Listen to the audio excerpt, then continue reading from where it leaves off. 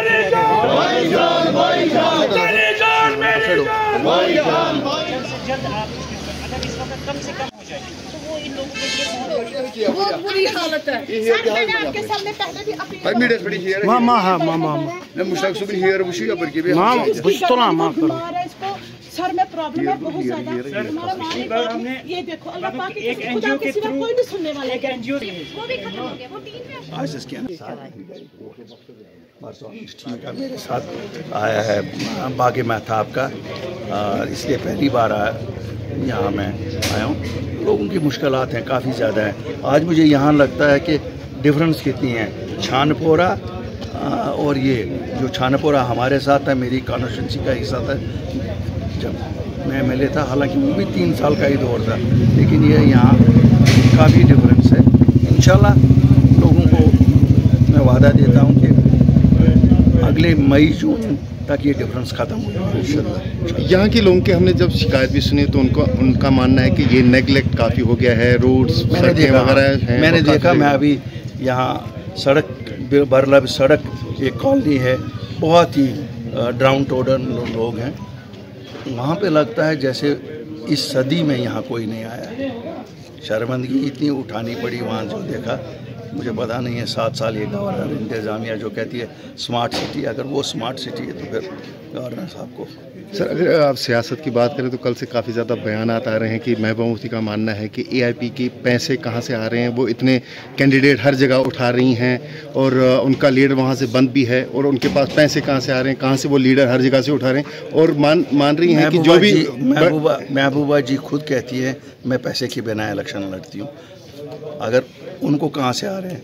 अगर उनको पता है कि उनके पैसे कहाँ से आ रहे हैं, हो सकता है एआईपी के भी वहीं से आ रहे हों, जहाँ से महबूबा जी के आ रहे हों। क्यों, हमने तो आज तक महबूबा जी का यही सुना है कि मेरे पास पैसा कोई नहीं है, मेरे पास तो इसी तरह अगर वो पैसे के बिना लड़ सकती हैं और फिर हुकूमत भी बनाती हैं पैसे के बिना तो फिर एआईपी वाले भी बना सकते हैं। नंबर एक। नंबर दो, इल्ज़ाम तराशी करना बहुत आसान है। सवाल करें एआईपी ने वो बीज बिहाड़ा में कैंडिडेट क्यों नहीं उठाया?